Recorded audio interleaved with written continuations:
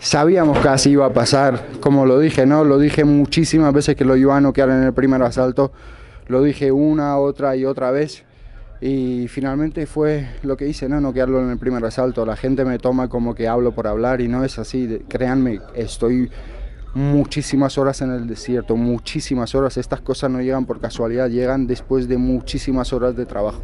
La clave de esta pelea en la preparación fue la paciencia, ¿no? Tener la paciencia por el estilo que él tenía, ¿no? De que iba a intentar sus, sus y rolls todo el rato y la clave era en tenerle paciencia y en no respetarle donde era su mejor parte, ¿no? Que era el suelo, ¿no? Porque todos los demás rivales que él ha tenido anteriormente, todos cuando él iba en el suelo se separaban de él, no, quería no querían ir en el suelo, entonces eso le permitía a Ryan descansar en el suelo. Y yo no quería eso, yo no quería hacerle sentir cómodo en ninguna posición, por eso fui a rematarlo, ¿no? Cada vez que iba en el suelo le hacía pagar, iba en el suelo le hacía pagar, con lo que fuera, pero le hacía pagar y finalmente fue lo que hice, ¿no? Fue al suelo y dije, vale, vamos al suelo y ahí fue donde le casé con un par de golpes.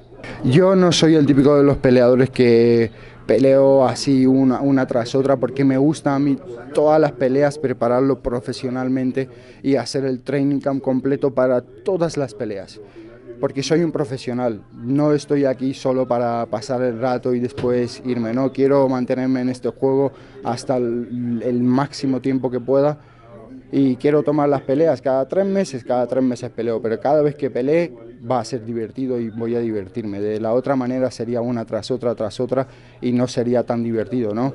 Las cosas se disfrutan cuando los echas de menos y los haces, no cuando los haces y te aburres de ello. Pues la verdad que fue impresionante, ¿no? Desde el lugar donde yo empecé y de, de donde me empecé a cultivar, así por decirlo, a acabar aquí en esta arena y ver cómo cada trabajo tiene su recompensa, porque yo vengo de la nada, soy un chaval normal y mira, hoy he peleado en la arena más grande del mundo, en la capital del mundo, ¿no?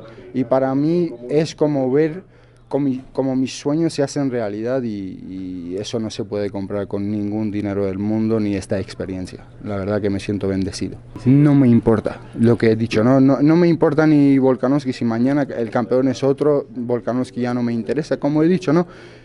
Yo no busco ser el número 10 o el número 15 o el número 8 en esta división, no busco ser nada de eso. Yo busco y sé que soy el número uno, porque lo sé, lo llevo diciendo desde hace muchísimo tiempo que no he venido aquí solo para participar aquí, ¿no? Y solo ser parte de la UFC. La gente cuando yo decía que iba a llegar en la UFC, yo decía, mi sueño no es llegar a la UFC, mi sueño es llegar y ser el campeón, porque llegar yo sabía que iba a llegar aquí el sueño siempre ha sido ser el campeón. El día que lo sea, ahí es cuando seré un hombre feliz.